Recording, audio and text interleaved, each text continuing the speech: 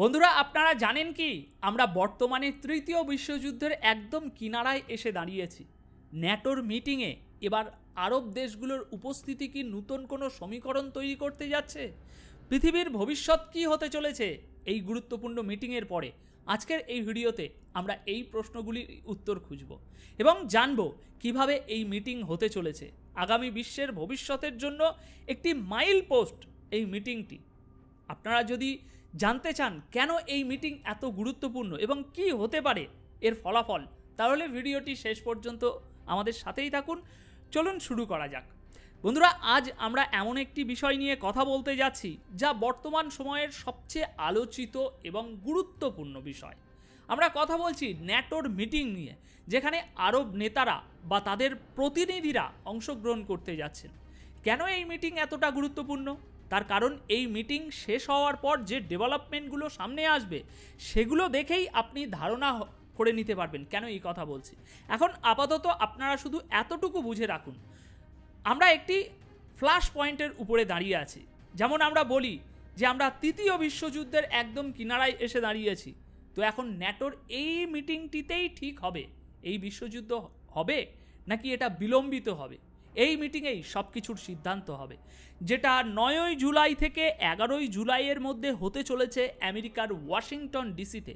পৃথিবীর আগামী ভবিষ্যৎ এই ন্যাটোর মিটিংয়েই ঠিক হতে যাচ্ছে। আর বিশেষভাবে সেখানে ইসরায়েলকে আমন্ত্রণ জানানো হয়েছে। এখন আমরা যদি একটু গভীরে যাই, তাহলে দেখা যাবে এখানে তারা ইসরায়েলের সাথে অস্ত্র এবং বিমান প্রতিরক্ষা ব্যবস্থা নিয়ে আলোচনা করবে। কিন্তু সবথেকে বড় খবর হলো ইসরায়েলের সাথে আরব দেশগুলোকেও আমন্ত্রণ জানানো হয়েছে। যুক্তরাষ্ট্রের পররাষ্ট্র মন্ত্রণালয় বলছে যে ইসরায়েলের পাশাপাশি অন্য আরব নেতারাও ওয়াশিংটনের এই ন্যাটোর সম্মেলনে যোগ দেওয়ার কথা রয়েছে। তাই এটি আমার কাছে খুবই অদ্ভুত একটা খবর মনে হলো। আপনাদের কি মনে হচ্ছে? এখন দেখা যাক এই সম্মেলন শেষ হওয়ার পর কি কি বড় ডেভেলপমেন্ট সামনে আসে। তাছাড়া আমি আপনাকে আগেই বলেছি যে যত রাশিয়া, ইরান, কোরিয়া এবং চীন শক্তিশালী হবে। তার সরাসরি প্রভাব মধ্যপ্রাচ্যের যুদ্ধের উপরে আসবে। আর তাই পশ্চিমাদের উদ্দেশ্য হল রাশিয়া, ইরান এবং কোরিয়াকে অর্থনৈতিকভাবে ধ্বংসর করা। কারণ তারা একটি ব্লক। এই একই ব্লকে তারা একে অপরের সমর্থনে টিকে আছে। যদি একটি দেশও দুর্বল হয়, তাহলে সবার উপরে এর প্রভাব পড়বে। অর্থাৎ যদি শুধুমাত্র চীন, ইরান থেকে তেল নেওয়া বন্ধ করে দেয় তাহলে তার কত বড় প্রভাব পড়বে? আজকের খবরে দেখুন। After the West imposed sanction on Russia two years ago the World Bank has classified Russia now as a high income country estimating the gross income per capita at fourteen thousand two fifty dollar per year Russia is now also the country which is the largest GDP in Europe অর্থাৎ পশ্চিমা দেশগুলি যখন রাশিয়ার উপরে sanction জারি করেছিল আজ থেকে দু বছর আগে, মনে আছে? তখন ওয়ার্ল্ড ব্যাংক আজকের দিনে দাঁড়িয়ে বর্তমানে রাশিয়াকে এখন উচ্চ আয়ের দেশ হিসাবে শ্রেণীভুক্ত করেছে, যেখানে প্রতি মাথা পিছু চোদ্দ হাজার দুশো পঞ্চাশ ডলার প্রতি বছর তাদের ইনকাম রাশিয়া এখন ইউরোপে সবচেয়ে বড় জিডিপি সহ দেশ হয়ে গিয়েছে। এখানে এই রিপোর্টটি দেখে কি বুঝলেন? অর্থাৎ আপনি ইরানকে দেখুন, রাশিয়াকে দেখুন, তাদের উপরে কত স্যাংশন জারি করা হয়েছে। কিন্তু তবুও তারা অর্থনৈতিকভাবে আরও শক্তিশালী হয়ে উঠেছে। তারা আরও উন্নতি করে দেখিয়েছে। তাই এখানে আসল ব্যাপার হলো বন্ধুরা, তাদের উপরে জারি করা অর্থনৈতিক স্যাংশনগুলির হাতিয়ার আজ অকার্যকর হয়ে গিয়েছে। তার কোনো গুরুত্ব নেই আজ। এবং যদি নতুন ওয়ার্ল্ড অর্ডারের কথা বলেন, তাহলে পুতিন এবং শি জিনপিং, সাংহাই কম কর্পোরেশনে যে আলোচনা করেছেন, তা খুবই গুরুত্বপূর্ণ।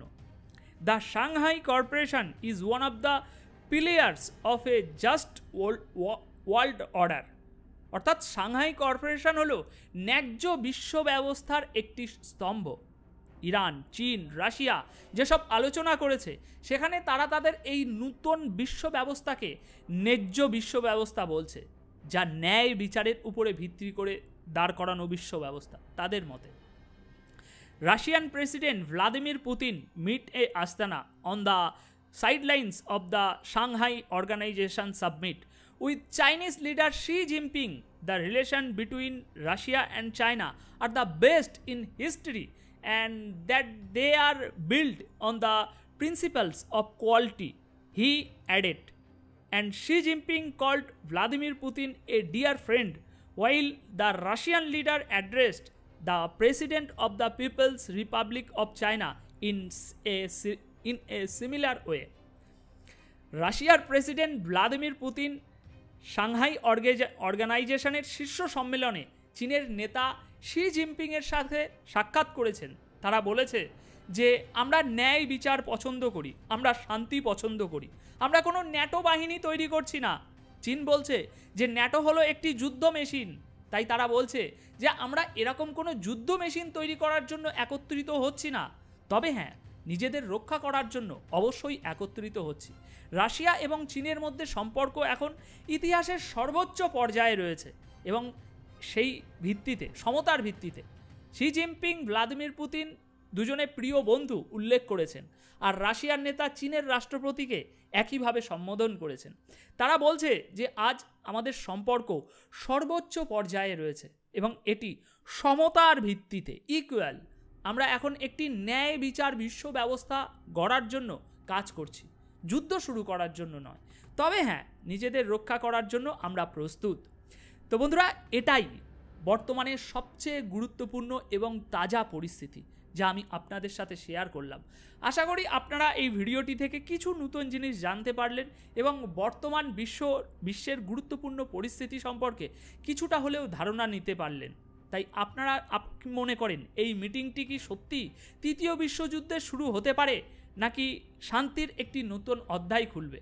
নিচে কমেন্ট করে জানাতে ভুলবেন না। আপনাদের মতামত আমাদের জন্য খুবই মূল্যবান।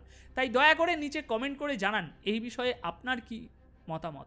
যদি ভিডিওটি আপনাদের ভালো লেগে থাকে তাহলে অবশ্যই একটি লাইক করুন, শেয়ার করুন এবং আমাদের চ্যানেলটি সাবস্ক্রাইব করে রাখতে ভুলবেন না। ধন্যবাদ আপনাদের সকলকে আমাদের সাথে থাকার জন্য। তাহলে পরবর্তী ভিডিওতে আবার দেখা হচ্ছে।